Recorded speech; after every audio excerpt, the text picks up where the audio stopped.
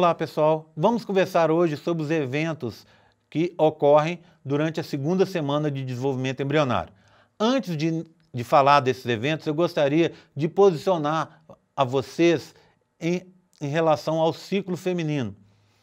É, a menina, num ciclo médio de 28 dias, ela é, menstruou no dia primeiro, ovocitou no 14º dia e a parte final do ciclo, as duas semanas que são constantes, independente da duração do ciclo, ela vai ter a fase secretória. Nessa fase secretória, o útero vai estar pronto para receber um embrião fecundado. Ou, se não ocorrer isso, o útero vai se descamar no final do ciclo. É a segunda semana, então, é a segunda, é a última semana desse ciclo na maioria dos casos, a menina não sabe se não sabe que está grávida, mas acontece uma série de eventos extremamente importantes no interior do seu útero. Bem, então tenho aqui é, os eventos principais que ocorrem nessa semana. A semana começa com a nidação ou implantação. Nesse processo, o trofoblasto, a parte externa da blástula, do, do blastocisto vai se diferenciar em dois tecidos, o sincisto trofoblasto e o citotrofoblasto. Além disso, a parte interna do útero, do endométrio uterino, vai a, se diferenciar num tecido chamado decídua, que é um tecido que vai receber e cuidar melhor do embrião que está adentrando no interior do útero. Esse processo de implantação ou nidação, ele vai perdurar durante toda a segunda semana, vai terminar aproximadamente aí no 13º dia.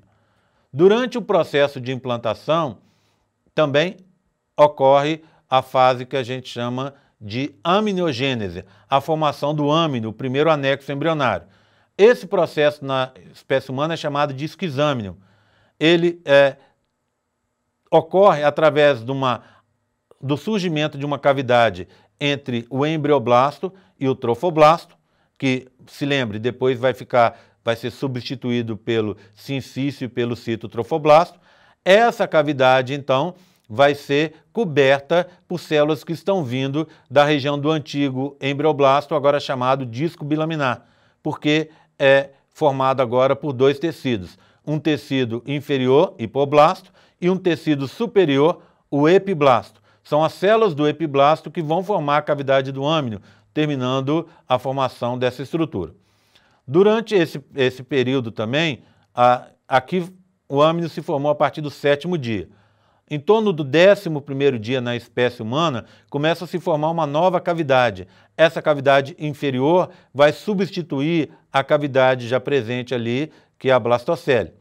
Para sua formação, essa cavidade chamada saco vitelino primário vai, ou primitivo, vai ocorrer uma proliferação das células do hipoblasto, que vão é, migrar cobrindo toda a cavidade é, antes presente ali, formando então esse saco vitelino.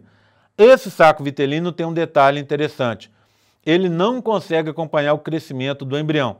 Por isso, depois vai ocorrer uma nova proliferação das células do hipoblasto, formando o saco vitelino definitivo ou secundário. O saco vitelino inicial, primitivo ou primário, ele vai desaparecer sendo empurrado para fora, formando o que a gente chama cisto exocelômico. Por último, nessa segunda semana, a gente tem que lembrar que se forma um tecido externo chamado mesoderma extraembrionário. Na realidade, esse mesoderma extraembrionário, inclusive, se forma aqui, ó, entre a transformação do saco vitelino primitivo em saco vitelino definitivo. O mesoderma extraembrionário é formado por células que vão vir da parte externa do embrião, do citotrofoblasto, ou talvez, a gente não tem certeza ainda, por células vindas do hipoblasto. Nesse tecido formam-se cavidades, o chamado celoma extraembrionário. Essas cavidades, no final da segunda semana, vão ter coalescido formando um espaço que vai dividir o mesoderma em duas partes. O mesoderma extraembrionário folheto externo, perto do citotrofoblasto, e o mesoderma é interno, chamado mesoderma extraembrionário é, folheto interno. Esses dois mesodermas vão ser separados por essa cavidade que coalesceu, o chamado celoma extraembrionário. Essa cavidade não vai estar presente apenas numa região, chamado pedículo, é, pedículo embrionário, pedículo mesodérmico ou pedículo de implantação. Essa região vai, no futuro, contribuir para a formação do cordão umbilical. Bem, terminamos então os eventos da segunda semana. Muito obrigado pela atenção, pessoal, e até a próxima.